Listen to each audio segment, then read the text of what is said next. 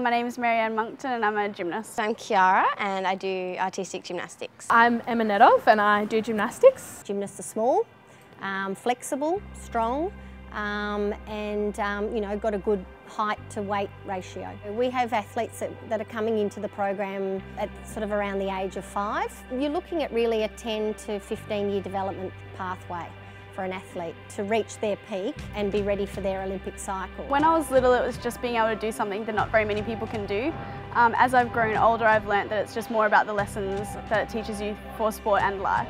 Mary-Anne, probably she's her own worst enemy at times. She um, expects a lot of herself. She's a real perfectionist and probably of any of our athletes here, she knows what it's like to come back from serious injuries. I had two ankle reconstructions because of the um, ligaments and then last year I had a um, peroneal tendon transfer because the tendon was actually ruptured. A lot of people, they watch competition and go, oh that's amazing, like it's, but it's only 1 minute 30 and a lot of work goes into that 90 second routine. Like a lot of people thought it was cool to flip around with a boot on your leg, so it's good.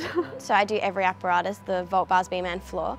Um, I do love doing bars and floor though, they're probably my favourites um, out of all the events. Kiara, she's a very hard worker. She was involved with gymnastics from a young age. She came to our international stream um, a little bit later than the other two girls, but she's really hit the ground running and uh, worked really hard and, and, has achieved some fantastic results. She was part of the World Championship team um, last year and that was her first Worlds. So that was a major accomplishment for me and I trained really hard to get there so I was ecstatic to be able to go. It was one of the best experiences of my life and for my career as well. I'm the best at beam, uh, that's my apparatus and I love how look the tricks that we do, everything like that. It's so incredible and it's amazing to be able to do these sorts of things with your body. Emma again is a strong competitor on the balance beam as well, but at the same time she's also training for the Rio um, cycle on four apparatus. The vault, the uneven bars, the balance beam and the floor. We train about 32 hours a week.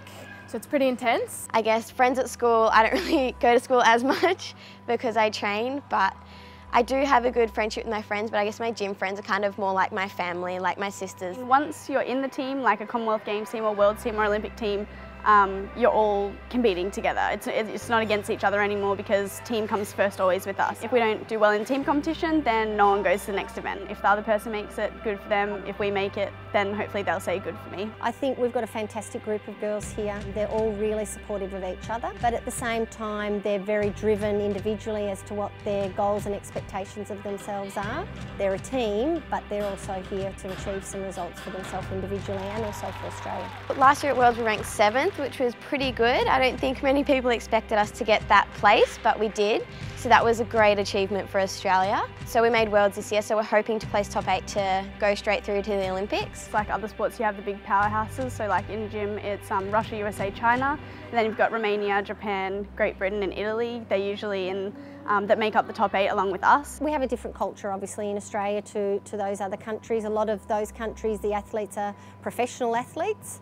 Uh, they get paid to do the sport, whereas our athletes um, are juggling, you know, their life as well as uh, their, their sport. Hopefully with our clean routines we can hit them, maybe get a few Chenka double twists which will help us secure a spot into the Olympics. All three girls will be um, vying for a spot on that World Championship team. Then the goals after that will be to qualify Australia to send a team to the Rio Olympics. We won't really have much downtime over um, December, like the Christmas break sort of things like that.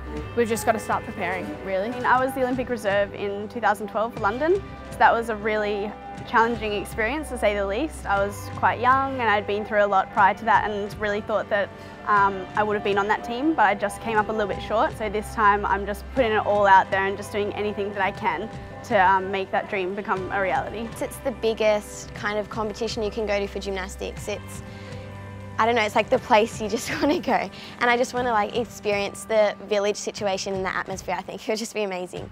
And to do it with my teammates would be even better.